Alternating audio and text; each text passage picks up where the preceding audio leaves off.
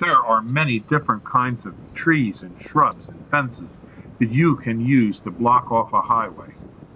Arborvitaes are a prized type of plant to block a highway because they grow very fast and they form an excellent screen for roadway traffic. If you want to block off a roadway quickly, the best way to do it is with the green giant arborvitae. Our green giant arborvitaes can grow upwards to two to three feet a year, and they are very durable with a single leader, seldom breaking off with snow load. Plus, they have excellent deer resistance. Not perfect, but excellent. If you only have a few deer in your yard, like two or three a week or four or five a week, that's not a big deer problem. If you have five deer a day, this plant will fail and you should probably use Norway spruce.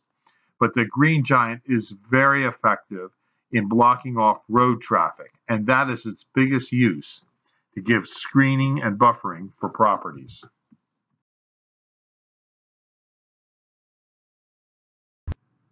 This video was produced at Highland Hill Farm. We grow and sell screening and buffering trees in Bucks County, Pennsylvania, and these are our green giant arborvitaes. Call us for your screening tree needs at 215 651 8329.